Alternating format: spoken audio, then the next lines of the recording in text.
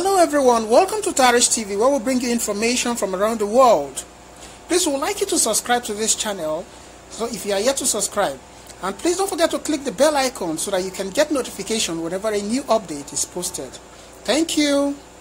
The lockdown has been extended in two states in Abuja by two weeks. The federal government on Monday said the recent order of the President, Major General Muhammadu Buhari, on gradual easing of lockdown will remain in force for another two weeks. The chairman of the Presidential Task Force on COVID-19, Boss Mustapha, disclosed this at the daily briefing of the task force in Abuja. The president had on April 27th announced a phase of gradual easing of the lockdown while declaring a nationwide curfew with effect from May 4th. He also ordered a ban on all interstate movements.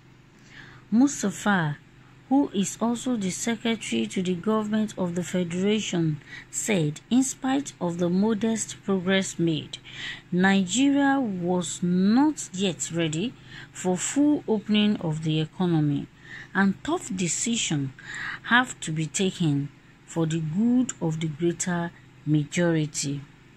He said any relaxation will only portend grave danger for our populace.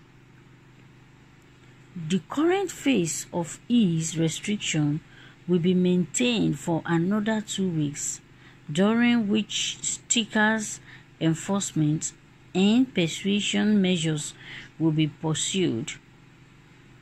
The two weeks extension of phase of phase one of the ease restriction is also to enable other segments of the economy to prepare adequately for compliance with the guidelines preparatory to reopening in the coming weeks. For the avoidance of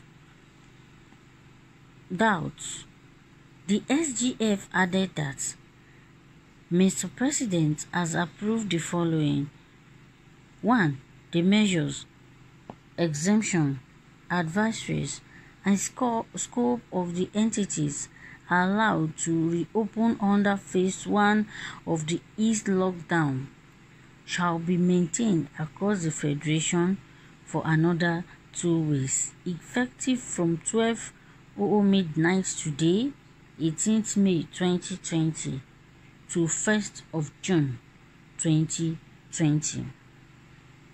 2. Intensifying efforts to tell to tell communi- to tell communicate beg your pardon trace identify and treat manage cases 3 elevating the level of community ownership of non-pharmaceutical interventions 4 maintain the existing lockdown order in Kano for an additional two weeks. 5. Imposition of precision lockdown in states or in metropolitan high burden LGAS that are reporting a rapidly increasing number of cases when the need arises. This will be complemented with the provision of palliative and continued re-evaluation of the impact of the intervention. And six, aggressive scale-up of efforts to ensure that communities are informed, engaged, and participating in the response with enhanced public awareness in high-risk states